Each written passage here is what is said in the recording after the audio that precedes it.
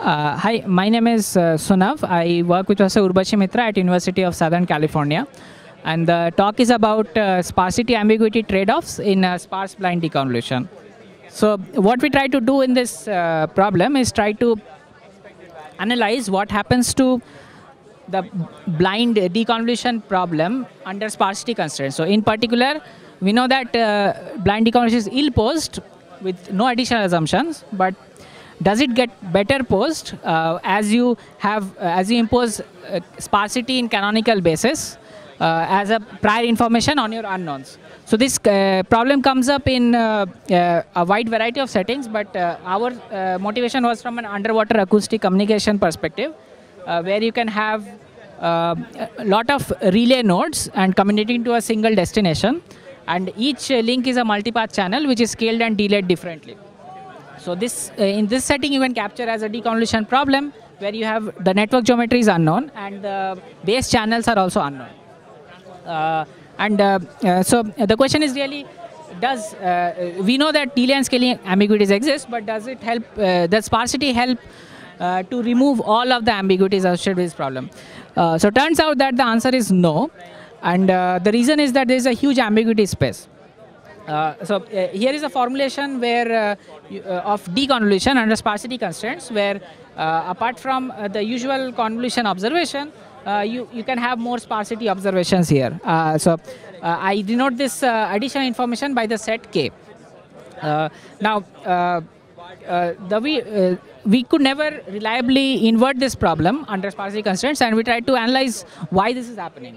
Uh, so the key technical novelty in this uh, work is uh, what I call uh, rotational ambiguity and this is like uh, we characterized we identified how to analyze this problem and characterize this key element which is called rotational ambiguity.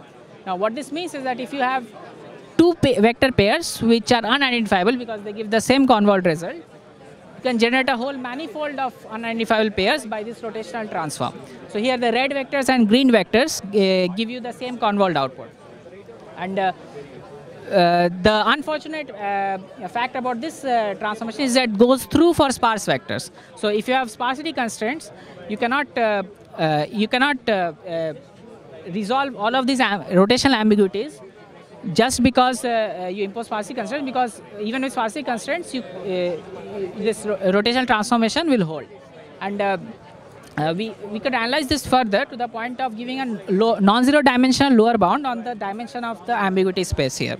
Uh, and the way we did this is to first transform the problem, which this uh, onto a low rank matrix recovery formulation. So first time uh, this was done in my knowledge was by a, a paper by Justin Romberg in 2012 uh, where they assume that uh, one of the two unknown vectors you could uh, pre-code by a Gaussian random subspace. And in this setting, you can uh, use low rank matrix formulations, which is here, to efficiently recover the, the unknown signals using nuclear norm minimization.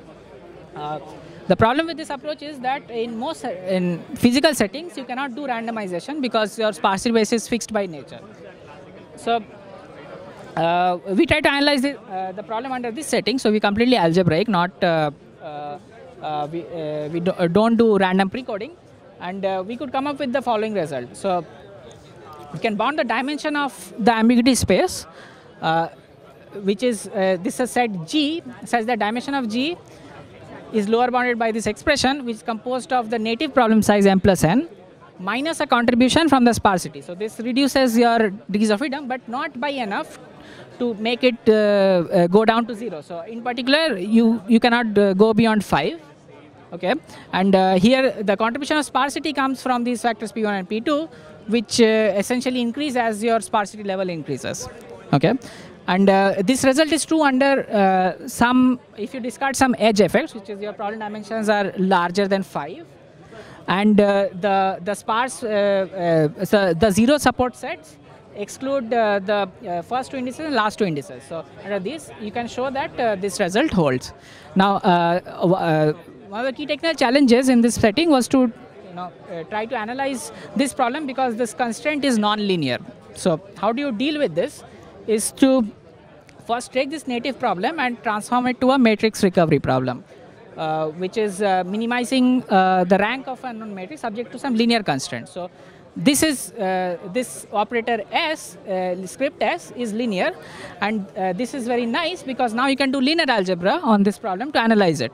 So just for visual perception, in case of a convolution, this script S operator sums the elements along anti-diagonals. Now, the native problem, if the native problem is feasible, then this problem has a rank 1 optimum. And so the rank 2 null space is important to characterize identifiability.